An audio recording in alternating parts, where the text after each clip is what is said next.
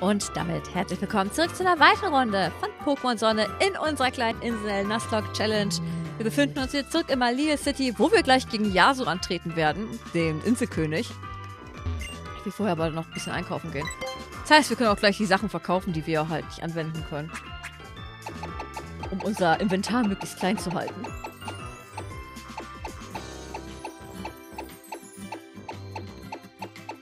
Ach, die Beleber sind hier, ne? Ja, die wollte ich verkaufen.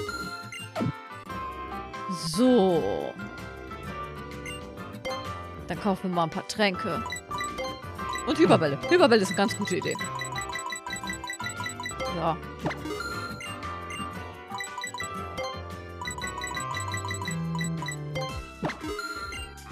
Beleber können wir nicht verwenden, aber Hyperheiler können wir verwenden. So, perfekt. Wir sind vorbereitet.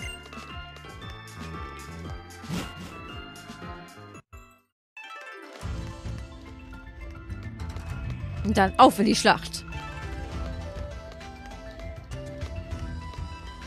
Hi. Hey Mädchen, lass uns kämpfen. Du und ich. Ich bin nämlich der Inselkönig, falls du es nicht wusstest. Ach, das hatten wir schon. Kannst losgehen? Ja, let's go. Na dann los. Habe ich Pink jetzt nach vorne gesetzt? Ich weiß es gerade nicht. Aber er hat nur drei Pokémon. Das erste ist ein Zubiris. Ja, Pink ist vorne. Ding ist, gegen Zubiris kann es gar nicht so viel ausrichten. Zubiris ist nämlich ein Geist- und Licht-Pokémon. Das heißt, Kampfattacken und normale Attacken haben keine Wirkung. Und Psychokinese auch nicht. Das heißt, wir müssen mit einem neutralen Spuckball angreifen.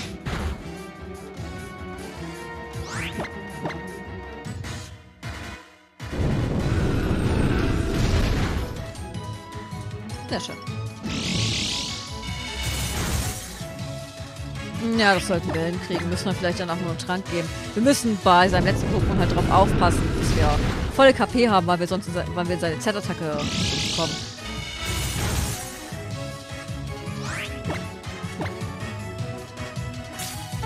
Wenigstens hat er den schon mal raus. Das wäre ganz nice, wenn wir zu Biris Spezialangriff vielleicht nochmal senken könnten.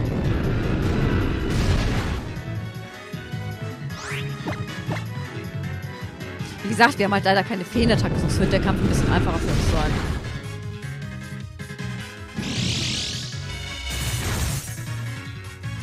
Okay, wir geben jetzt auch einen Trank.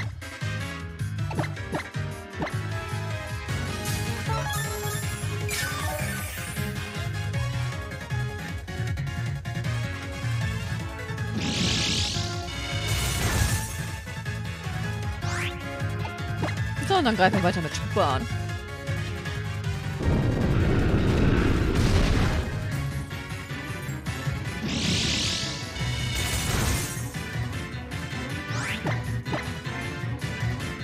Dann war es das mit seinem Sibiris.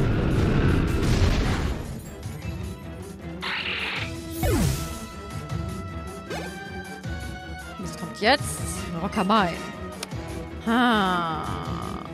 Wir bleiben drin. Wir könnten halt auch auf Bienen wechseln.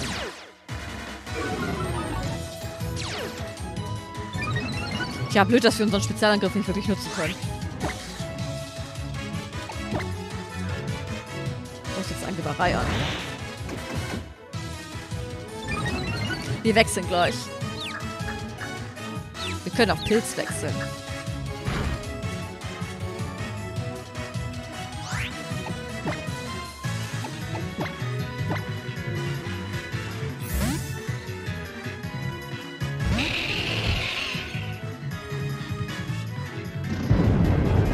Tja, Pilz ist ziemlich resistent gegen Erdbeben.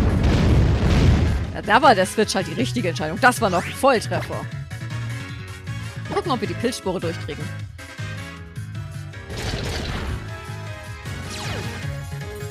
Es ist irgendwie immer so, wenn wir ähm, Pilzspore einsetzen, aktiviert sich ähm, Sporenwirt, ne? Dann können wir mit dem Blutsauger weitermachen. Der sollte jetzt eigentlich noch weiter können. Das würde mich ziemlich wundern, wenn das jetzt noch aufwacht. Also zumindest jetzt gleich in der Runde, in der es eingeschläfert wurde. So. Und ist er wieder volle KP.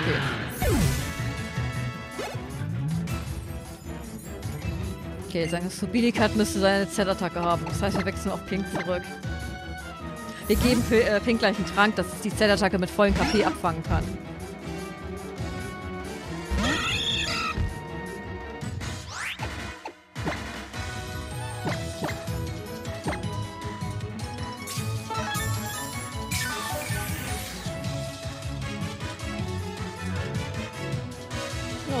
Z-Attacke ein. Naja, wir sollten trotzdem weiter unsere KP hochhalten.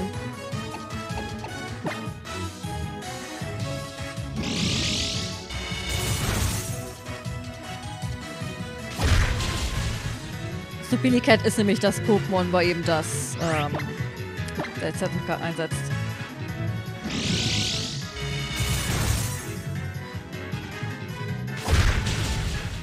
Nice. Wir hätten sonst gleich einen Trank geben müssen, damit wir seine Z-Attacke nicht schlucken. Sehr gut gemacht, Pink. Und wieder hat Pink uns den Hintern gerettet.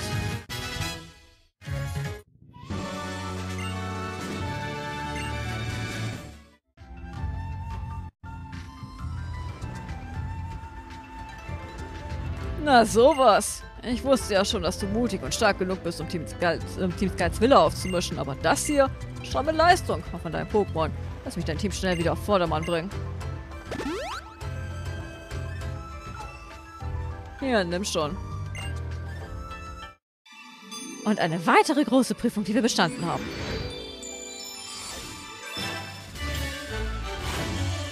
Tata!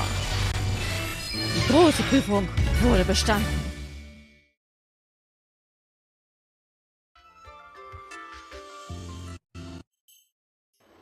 Und so geht die Pose für die Z-Kraft vom Typ Unlicht. Strammer Move. Ja, klar, äh, Zuckerlocke, so geht's mir auch. Damit hast du alle Prüfungen auf Ula Ula bestanden. An dieser Stelle muss ich dir jetzt wohl gratulieren. Na dann, Glückwunsch. Witzigerweise, wenn man sich die ähm, Modelle von den ähm, eigenen Protagonisten anguckt, der hat gar keine andere An ähm, Animation. Der kann nicht erstaunt gucken oder so. Die hat nur diesen einen Blick. So, das liegt wahrscheinlich dann auch so ein bisschen daran, dass der Charakter mal so ein bisschen statisch wirkt, weil der nur diesen Einblick hat. Jetzt hast du was zu erledigen, oder? Übertreibst du nicht. Was dich angeht, Gladio, wenn du wirklich stärker werden willst, solltest du dich nicht von Team Skull herumkommandieren lassen. Sefi! Weh, du nimmst das Wort Spaß in den Mund. Oh ja, wenn du einmal das Wort Spaß sagst. Ich bin dafür, dass wir ihn dann über Bord werfen. Wenn ich stärker gewesen wäre, hätte ich Lilly helfen können. Aber wir dürfen uns nicht unterkriegen lassen. Ich will, ich will euch unterstützen, so gut ich kann. Damit wir bald alle wieder lächeln können. Sagte er und lächelte. Wohin haben sie Lilly denn gebracht? Wo kann es nicht sein, sonst hätte Sefi sie sehen müssen. Du bist scharfsinniger, als du aussiehst. Sie ist im Ether-Paradies. Im Ether-Paradies?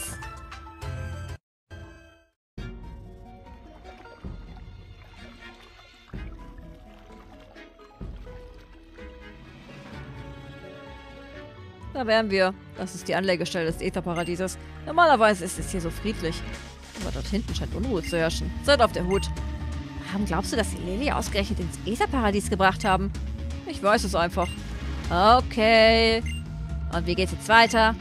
Äh, suchen wir sie? Ah, als erstes sollten wir vielleicht zum Aufzug gehen. Vielleicht? Dieser Typ macht mir Angst. Er hat überhaupt keinen Plan. Hast du einen Plan? Gut. Ding ist, ähm, man könnte jetzt sagen, ja, wir haben die große Prüfung bestanden und eigentlich müssten wir jetzt das Team wechseln. Ding ist halt, wir sind hier jetzt storymäßig gelockt. Das heißt, wir müssen wohl über oder übel mit dem Team hier weitermachen. Was, was ich auch vorhin schon gesagt hatte, dass wir halt ähm, die Aether Foundation oder das Aether Paradies nicht als eigene Insel betrachten, sondern halt, da man hier aus Storygründen eigentlich nur ist, beziehungsweise da eigentlich die Story hier immer automatisch hinbringt, ähm, zählt das einfach noch mit zu Ula Ula. Was bedeutet, dass wir dieses Team noch eine Weile länger ähm, dabei haben. Hi, du. Ein Eindringling. Ich werde dich zermalmen, koste es, was es wolle.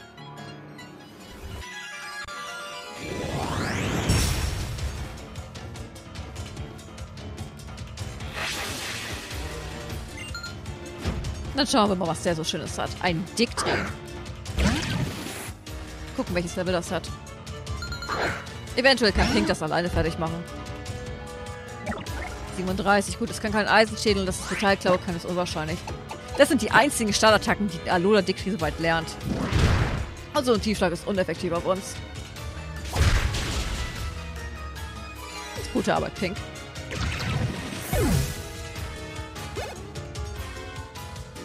Und Level 43 für Eisen. Wiskagott. Wiskagott ist ein Drachen-Pokémon. Auch wenn es nicht so aussieht. Leider haben wir keine Feenattacke. Da müssen wir es auf die althergebrachte Art und Weise klären.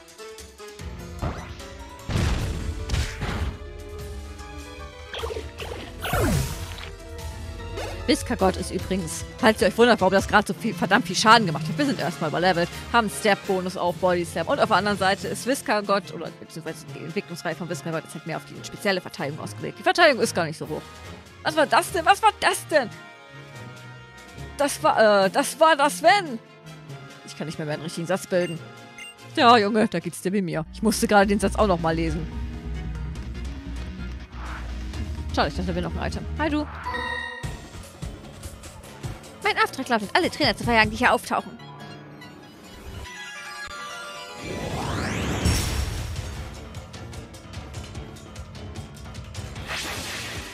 Nur, sie hat einen Superball. Vorsicht, die junge Dame hat einen Superball. Echt gefährlich. Und Terrybuck hat sie auch.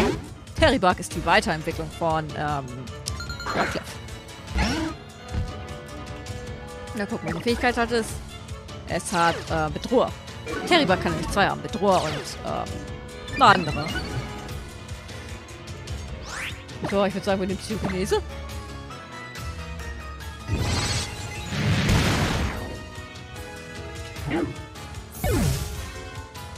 Dann können wir wenigstens von unserem erhöhten Spezialangriff profitieren.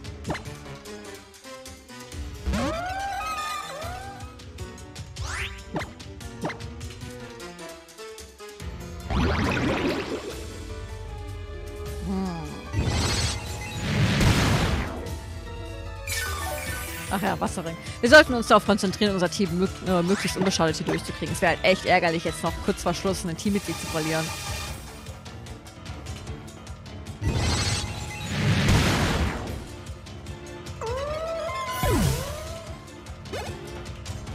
Und damit 42 für Rubin. Du bist eindeutig zu stark. Denken Sie in der Chefetage wirklich, ich könnte jemanden wie dich verjagen? Wer weiß? Ähm. Wie sieht es denn hier leveltechnisch aus?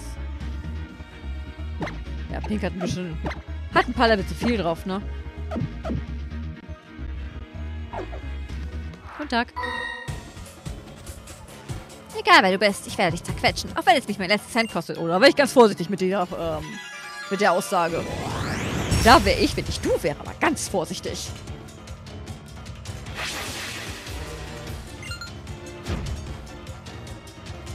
Ein Drasche. Drasche ist die Weiterentwicklung von Kindwurm. Und im Gegensatz zu Butalanda, der letzten Entwicklungsform der Reihe, ist es tatsächlich mehr auf Verteidigungswerte ausgelegt.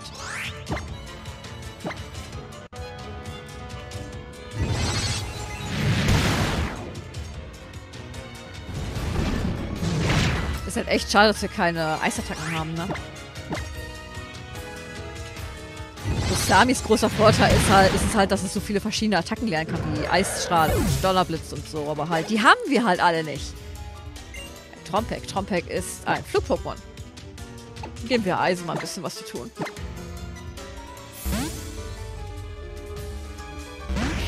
Bombs.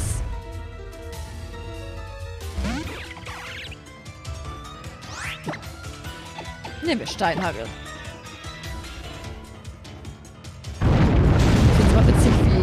Eisen so eine Arschbombe hinlegt.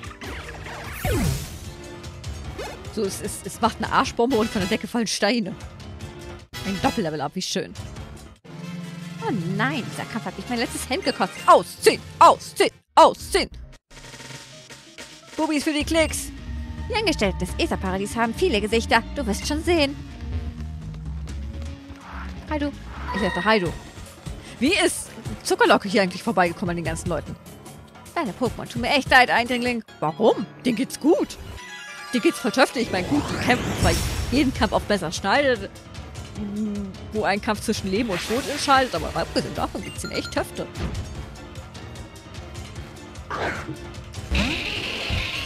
Hm. Wir sollten wechseln. Parasek ist ein Käfer. Ähm, ein pflanze Käfer-Pokémon. Das wissen wir so gut. Wir haben selbst eins. Und naja, Rubin ist gegen Pflanzenattacken und gegen Käferattacken schwach. Wobei Pflanzenattacken dürfte es nicht haben. Die einzige Pflanzenattacke, die es haben dürfte, ist Absorber. Das kann man nicht spielen. Nervig.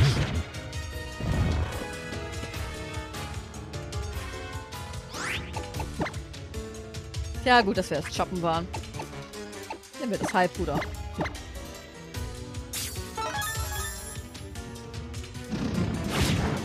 Ja, setz ruhig deine blöde Zornklinge an. Du überlebst eh keinen Flügelschlag. Parasek gehört zu den unbeliebtesten Pokémon von Game Freak. Es gibt tatsächlich eine Liste, die... Ich weiß nicht wer. Äh, ich glaube, Fans waren das, die sich halt angeguckt haben, wie oft äh, kommen gewisse Pokémon im Anime vor oder spielen in der Story eine Rolle oder halt sowas. Und naja, Parasek gehört zu den Pokémon, die ab da am unbeliebtesten sind. Ähm, ja, Gigasauger. Gigasauger ist zwar ziemlich nice, weil ähm, Gigasauger, ich glaube, Stärke 80 mittlerweile hat. Das ist ziemlich gebufft worden. Und KP heilen kann. Auf der anderen Seite ähm, hat man es nur 15 Mal. Was übrigens auch gebufft wurde früher. Nein, ich war 10 Mal. Früher waren es 5 Mal. Das ist ziemlich gebufft worden. Jedenfalls sollte es allemal zuverlässiger sein als Strauchler, weil Strauchler ja immer so viel ähm, Schaden macht, je schwerer das Pokémon ist. Und mit Gigasauger haben wir da wenigstens eine Konstante drin. Das macht ja konstant immer Schaden. Drift Zeppli, wir können drin bleiben. Drift Zeppli ist ein Geist-Flug-Pokémon, die Weiterentwicklung von Driftlock. Wir können also wahlweise mit einer Dunkelklaue oder Steinhagel angreifen. Wir nehmen Dunkelklaue, wenn Dunkelklaue eine erhöhte Folterquote hat. Und bis damit mit einer höheren Wahrscheinlichkeit One-Shotten. Oh, Vibrava. Na gut, wir können drin bleiben. Vibrava ist, ähm, Drache Boden. Und da wir ein Flugtyp sind, heißt es, dass es uns mit potenziellen Bodenattacken erstmal nichts kann.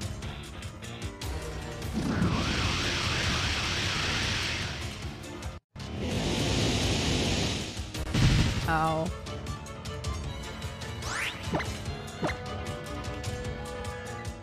Was hat Geronimo eigentlich nochmal für eine Fähigkeit? Muss ich gleich nochmal nachgucken. Ich weiß es gerade gar nicht mehr. Das war, glaube ich, die schlechtere von beiden, ne? Ah, ich dachte, du bist irgendein dahergelaufener Eindringling. Aber du hast ganz schön was drauf. Machen wir mal kurz Lucky Lucky. Ah, da ist Geronimo. Es hat... Adlerauge. Ja, eindeutig die schlechtere Fähigkeit von beiden. Ich weiß gerade nicht, was das zweite war, aber Adlerauge ist schon ziemlich schlecht. Wobei, hey, immerhin kann seine äh, Genauigkeit nicht gesenkt werden.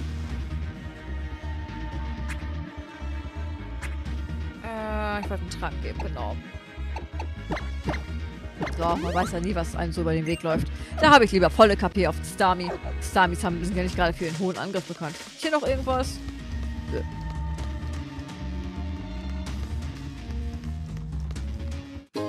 Ein Sonderbonbon. Sehr besonders. Gibt es sonst noch irgendwelche Idioten, die aufs Maul wollen? Ja! Muss kämpfen, damit die Pokémon hier im Paradies sich sicher fühlen können.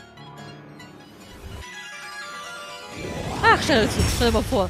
Gladio und Charlie sitzen da beim Aufzug, warten auf uns. Rennen wir so auf die zu. Und die meinen, ach, da kommt sie endlich. Wurde auch Zeit. Wir biegen ab zum nächsten hauen den erstmal aufs Maul. Ein Rad? Ein Rad können wir mit der Telefonese einfach auseinandernehmen. Das sollte kein Ding sein.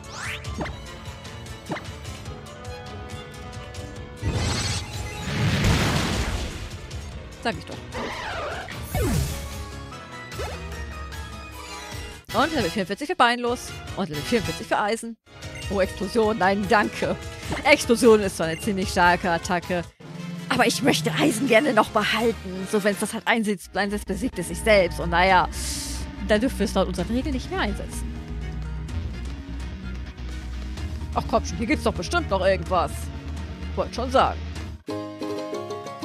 Oh, das hat sich jetzt überhaupt nicht gelohnt. Das kannst doch nicht gewesen sein.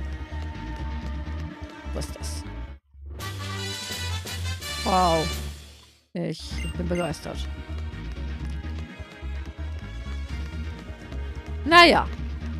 Haben wir die TM auch. Könnte vielleicht nochmal für zukünftige Strategien ganz nützlich sein, aber abgesehen davon ist sie der absolute Witz. Also dann ab nach oben.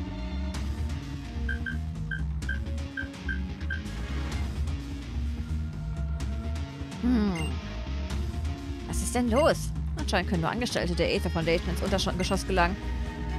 Damit hätte ich rechnen müssen. So, keine Wahl. Wir müssen nach oben. Also ich hätte ja den Typen neben uns dahin geschliffen. Ich bin Fabian, der einzigartige Regionalleiter der Aether Foundation, fraglos unentbehrlich.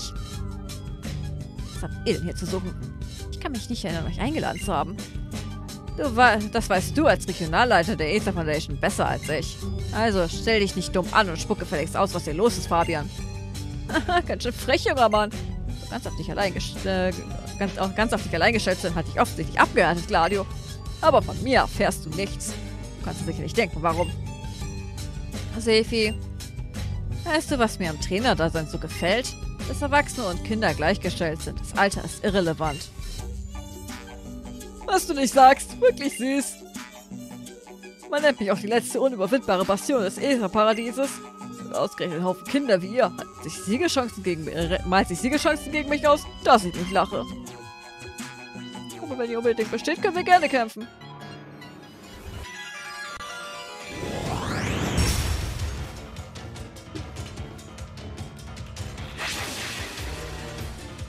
Oh, er hat noch ein Pokémon.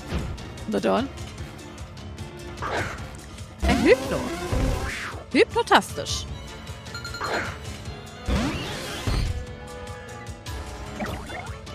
Ah, wir greifen erstmal mit dem Siedewasser an. Hypno ist nicht so gefährlich.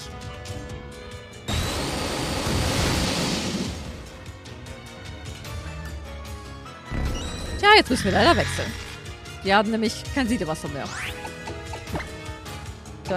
Geronimo!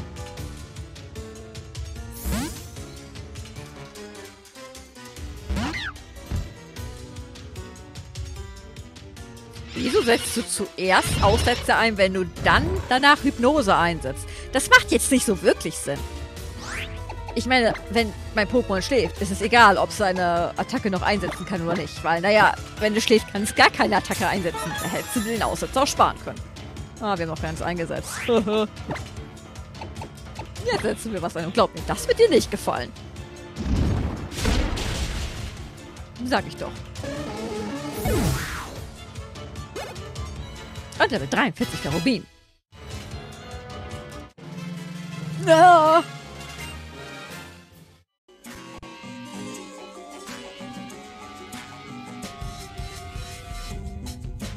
Was um alles in der Welt konnte dieses Kind mich, mich? Einfach Fabel, äh, einfach sagenhaft, Sefi. Dabei ist Fabian noch so stark. Findest du? Also noch einmal, stell dich nicht dumm und äh, stell dich nicht dumm und spucke gefälligst aus, was hier los ist, Fabian. Ist ja schon gut. Ich allein geschätzt hat sich wirklich abgehärtet. Und ganz schön zynisch gemacht. Aber gut, wäre ich auf der Suche nach Cosmog, würde ich wohl im Untergeschoss nachsehen. Im Untergeschoss, sagst du? Das erinnert mich an irgendwas. Ach ja, meinte Pierre nicht, diese Erschütterung neulich sei aus dem Untergeschoss gekommen? Was in aller Welt treibt sie da unten? Das wüsstest du wohl gerne, was? Ich habe ja aus verlässlichen Quellen gehört, dass unten Experimente stattfinden, die den Weg in eine neue Welt ebnen sollen. Wir haben keine Zeit für deine kryptischen Andeutungen. Schalte den Auszug für uns frei. Aber sicher doch.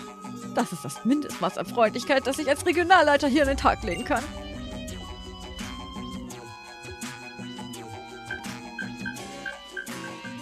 Sefi, Dali, sobald ihr bereit seid, geht es los.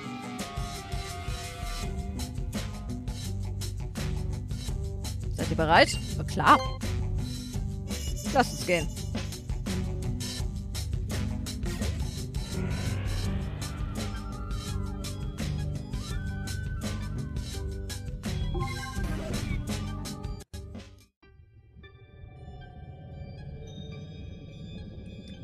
Er hat sich nicht viel verändert.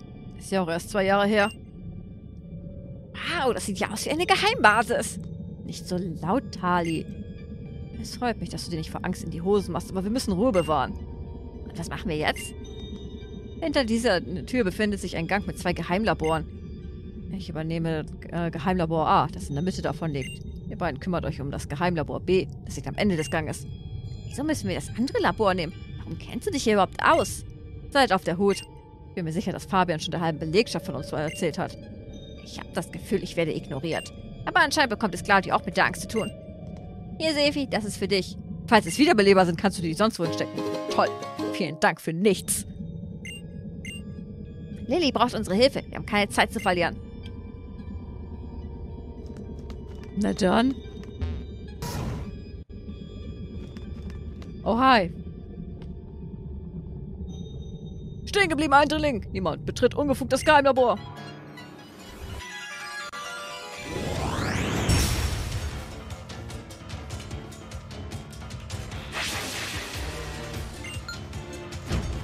Hätten wir da nicht einen Dreierkampf draus machen können? Das wäre schneller gegangen. Hallo Slimog, müssen wechseln, wir mobilen vorne. Also gut, ihr kennt das Prozedere. So ein Slimog ist ein Unlicht-Gift-Pokémon. Ist ein bisschen blöd für uns, deswegen wechseln wir auf Beinlos. Was eine ziemlich gute Wahl ist, weil es einen Stahltyp hat. Und wenn das Slimog die Giftattacke gegen uns einsetzt, ist das ein kostenloser Switch-In. Au. Das hat ganz schön viel Damage gemacht. Wir sollten lieber wechseln. Wenn es jetzt nochmal Abschlag einsetzt und, naja, ähm, wir es vorher nicht besiegen, dann sind wir leider Fratze.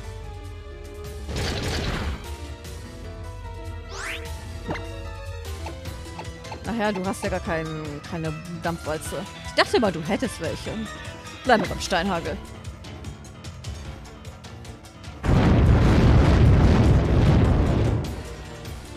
Sehr schön. Wie wir dank des Lockenkopfs von Weinlos jetzt auch einfach schneller sind. Sehr gut.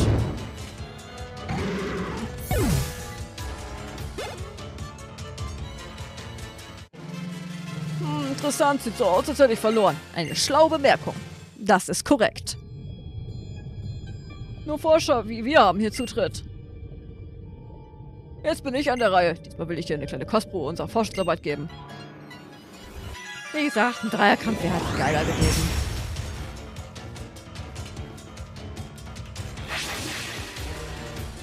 Oder man hat einfach diesen Typen wegrationalisiert und ein Doppel draus gemacht. Wir müssen wieder wechseln.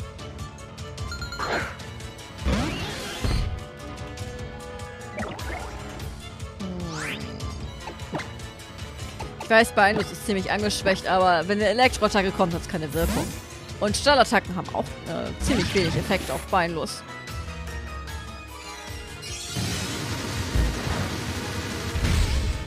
Wir geben eben einen Trank, um auf Nummer sicher zu gehen.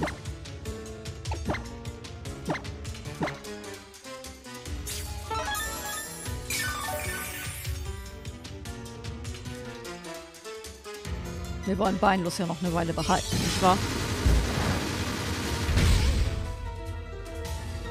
Okay, jetzt wird zurückgewalzt.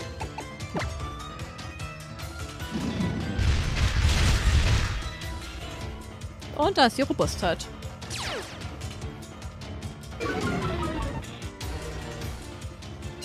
Aber wie gesagt, da gibt es halt nichts, was ähm, Magneton gegen tun könnte.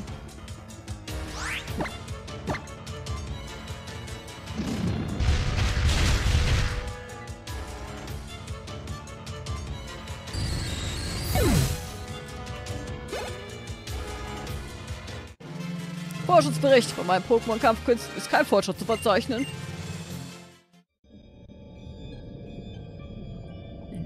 Labor befassen wir uns mit der Entwicklung neuartiger Pokebälle. Mit unserer neuesten Errungenschaft lassen sich sogar Pokémon fangen, die nicht in Alola heimisch sind. Wow, das ging vorher ja gar nicht. Lass mich raten, was dich herführt. Du suchst Cosbock, stimmt? Äh, Zuckerlocke, ich sehe dich da hinten. Würdest du vielleicht herkommen und uns helfen? Nein? Ja, verdammt. Wenn du wissen willst, welche Experimente wir es benutzt haben, musst du mich erst besiegen.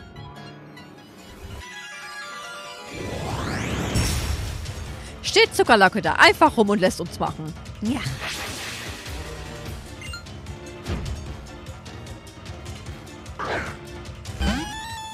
Porygon 2. Kann eventuell Elektroattacken. Da sollten wir ein bisschen aufpassen. Porygon 2 Angriff ist halt nicht zu unterschätzen.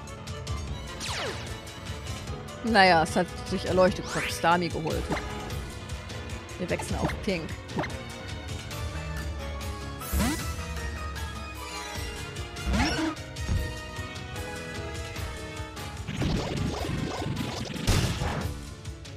Tja, und das, meine Lieben, nennt man Instinkt.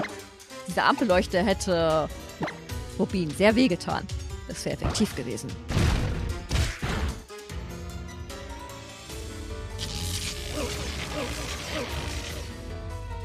Das hat sicherlich ganz schön reingehauen, wenn wir vielleicht nicht sogar Rubin daran verloren hätten. Also von daher, das war die beste Wahl, die wir hätten treffen können. Wir hätten es ja bestimmt nicht gewonnen, Schottet, da gehe ich mal nicht von aus. Und ein weiteres Sammler für Pink. Und Level 44 für Geronimo. Interessant, du hast tatsächlich gewonnen. Dieses Ergebnis hatte ich nicht einkalkuliert. Cosmog ist der letzte fehlende, das letzte fehlende Puzzlestück. Der Schlüssel zur Öffnung der Ultraforte. Los, verschwinden wir. Wir sind schließlich Forscher, keine Pokémon-Trainer.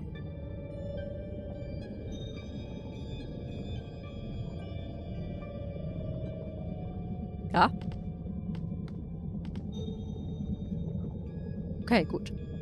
Dann würde ich sagen, machen wir an der Stelle jetzt hier eine klitzekleine Pause und sehen uns dann beim nächsten Mal wieder. Ich hoffe, ihr seid dann auch wieder mit dabei. Bis zum nächsten Mal und ciao!